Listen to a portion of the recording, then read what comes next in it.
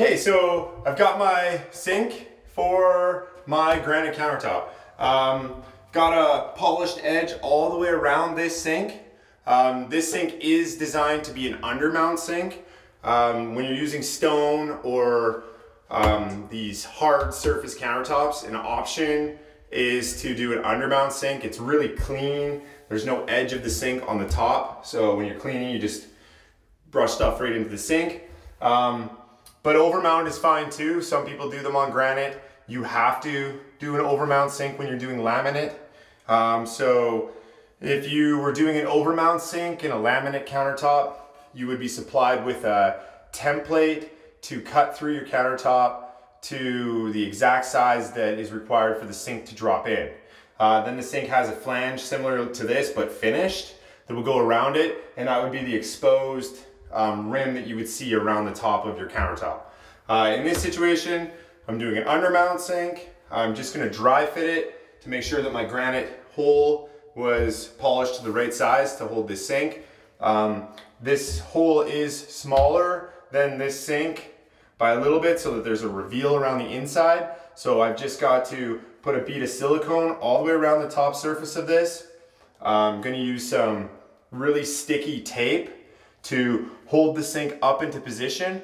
And then underneath the sink, I'm gonna cut a block of wood from this drain down to the bottom of the cabinet and just wedge that in there until, um, then, I, then I'll put some epoxy around this rim in a, in a few locations.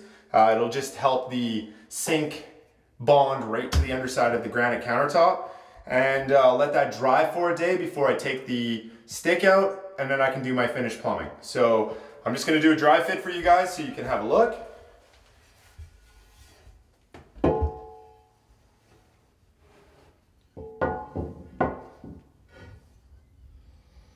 And that's uh, the basic location for the undermount sink.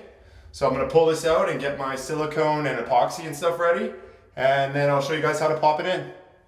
So I've got some really sticky tape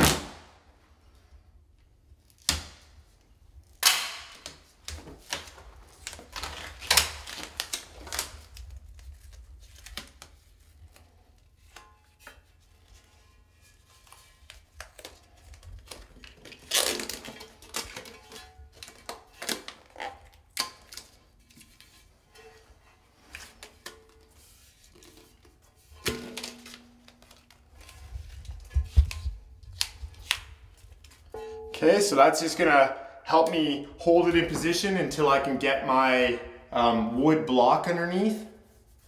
So now I'm gonna use my silicone and just put a nice bead around the perimeter of the sink.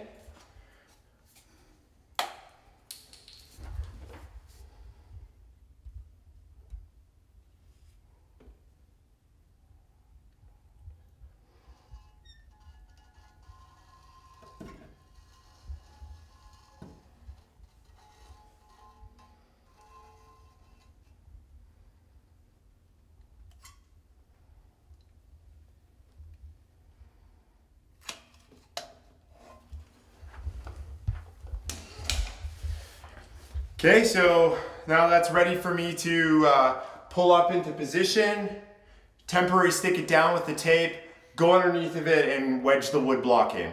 Then um, I'll mix up some epoxy to add those globs of epoxy on uh, probably four to six locations on the sink underneath. And then that should be uh, good after it's dry to uh, mount all the rest of my plumbing.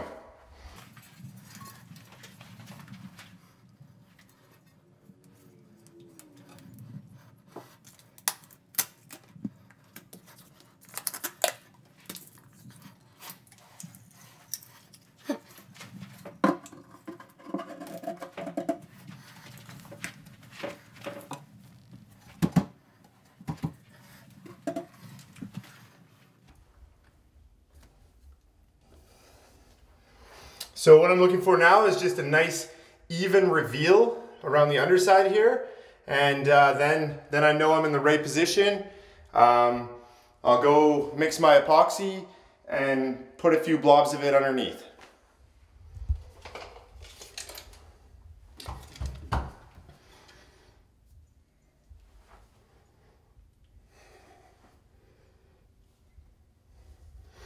Okay, that looks good. Okay, so here's my epoxy. It's a two-part system. It's the epoxy, here's the hardener. I'm just gonna mix these two together on top of some cardboard here and then make a couple of blobs underneath the sink to help bond together.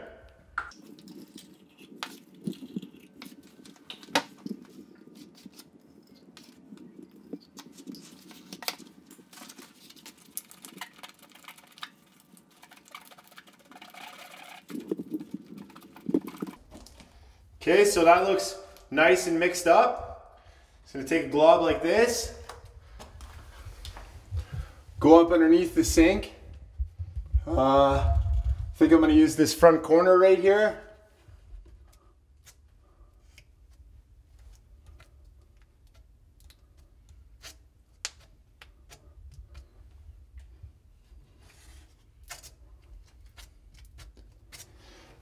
And I'm gonna do that on the uh, other three corners and then let it dry.